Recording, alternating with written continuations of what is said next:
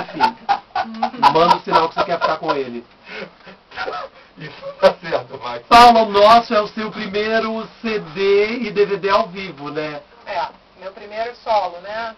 Primeiro DVD ao vivo, Solo. porque com o Kid já tinha. É, você tinha Ah, feito. sim, sim. Tinha o Você, fez- acústico. e você tinha feito um outro antes do acústico também, né? É, teve o acústico e o. É porque antes não tinha DVD, né? Ah, é. Era disco só. É. Só música. E depois a gente fez o acústico e depois fez o Pega Vida também, que tem DVD ao vivo. Sei. E aí eu fui.